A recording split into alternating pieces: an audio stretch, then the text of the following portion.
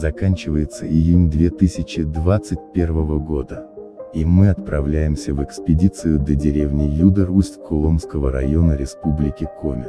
Сегодня в деревне нет постоянных жителей. И числится она уже давно как нежилая. Но осталось здесь еще несколько домов, вполне пригодных для жилья. Как оказалось, в одном из них есть даже обитатели.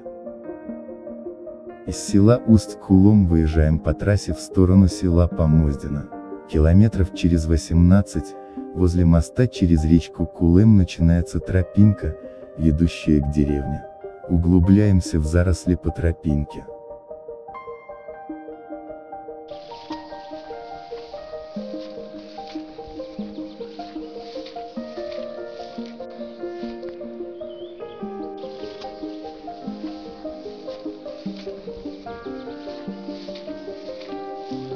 Судя по развороченным муравейникам можно сделать вывод, что косолапые ходят по ней чаще, чем люди. Но тропинка оказывается довольно утоптанной и приводит метров через 600 ходу по ней к насыпи старой дороги на Помоздино, проходящей когда-то через деревню. Когда поднимаемся на дорогу, нам открывается вот такая вот картина, интересный арт-объект, несомненно вызывающий улыбку у каждого посетителя этих мест.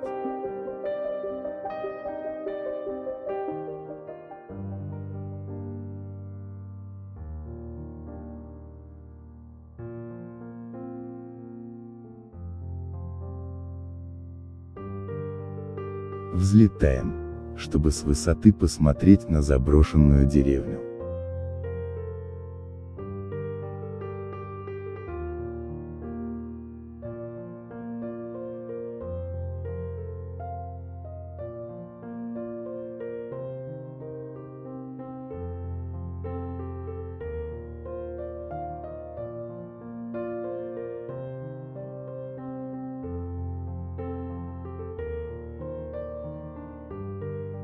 Да, умели наши предки выбирать места для основания поселений.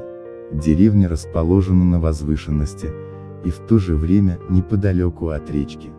Виды, открывающиеся из окон избушек, на зависть художникам-пейзажистам. Красота неописуемая. Только давно не слышны здесь звуки гармошки и веселые крики ребятишек.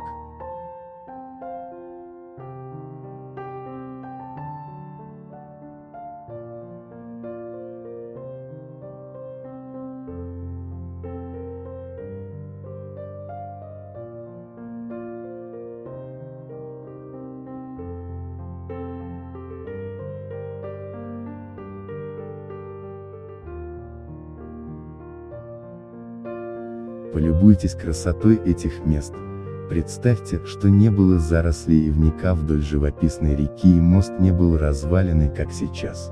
А на живописном склоне располагалось около десятка домов с их обитателями и деревенским бытом.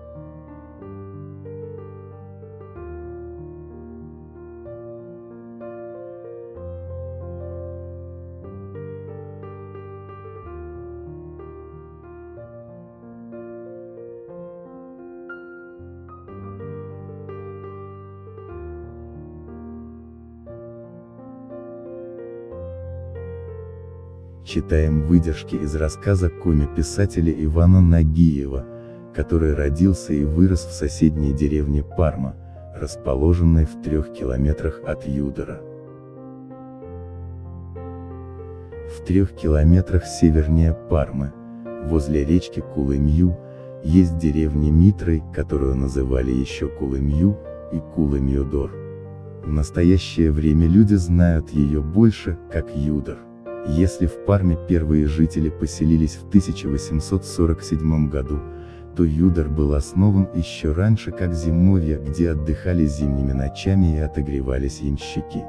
Первым держателем зимовья был Менгалев Митрой, по его имени и называли деревню.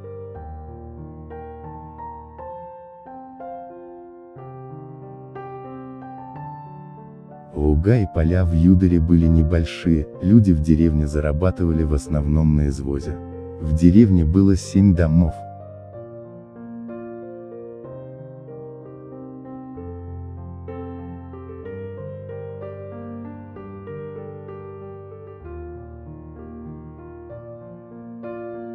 Из рассказов очевидцев известно, что во время гражданской войны по пути в Помоздино через Юдор белогвардейские солдаты, сопровождавшие плененную партизанку Домну Каликову, останавливались в деревне погреться. Для тех, кто не слышал про героиню гражданской войны Домну Каликову. Она была зверски замучена и расстреляна белогвардейцами 22 декабря 1919 года, на берегу реки Вычегды, возле села Помоздино. Ей было всего 23 года.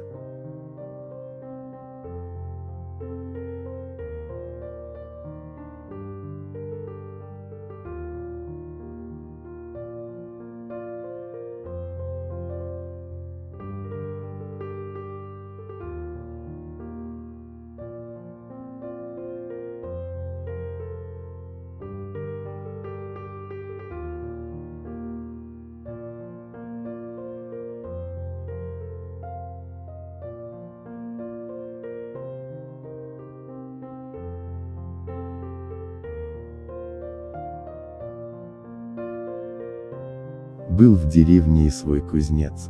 Мингалев Иван Васильевич, очень трудолюбивый и на все руки мастер. Возле его дома стояла работающая ветряная мельница. Вместе с односельчанами он даже пытался построить на речке электростанцию, но напора воды не хватило, чтобы вращать генератор.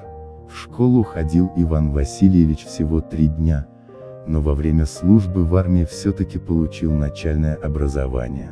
С началом войны его мобилизовали самым первым, а вернулся последним, закончив войну в 10 километрах севернее Берлина. В Великую Отечественную войну из Юдора погибли двое. Мингалев Егор Васильевич и Тимон Егор, выходец из села Пожик, проживал в деревне с Алексеевной Пашниной. В деревне никогда не было ни магазина, ни школы. За покупками ходили в соседнюю деревню Парма. Оттуда же приходила лечить больных фельдшер, Челанова Эльвира Михайловна. И там же находилась ближайшая начальная школа, куда дети добирались пешком по лесной дороге, частенько оставаясь темными зимними ночами спать на палатях у местной жительницы Марии Александровны Чалановой. С тех пор прошли десятки лет. Жители деревни за это время покинули родные места в поисках более комфортной жизни в соседних деревнях и селах, а некоторые и в городах, официально деревня закрыта и считается нежилой с 1976 года.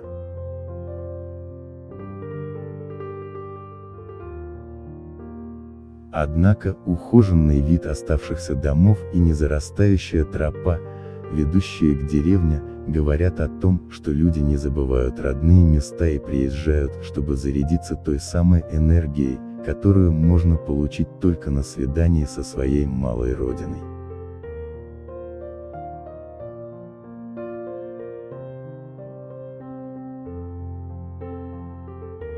Те, кто пожелает посмотреть видеоролик про то, как сложилась история деревни Парма, могут перейти по ссылке под описанием к этому видео или самостоятельно найти его на этом канале. Буду очень рад новым подписчикам и желающим ближе познакомиться с деревеньками, селами и поселками, а также природой Республики Коми на моем канале.